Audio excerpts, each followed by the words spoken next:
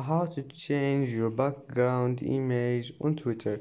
Hello guys. In today's video i'm gonna show you how to change your background image on twitter. First thing you're gonna do is go to twitter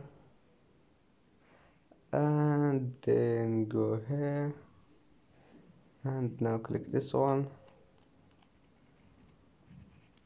And now click uh, here.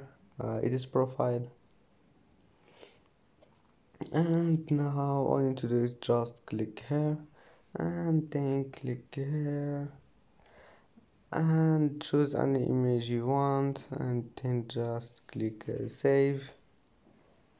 And image will be changed and that's it for today's video. If you like this video please don't forget like and uh, subscribe and see you in the next video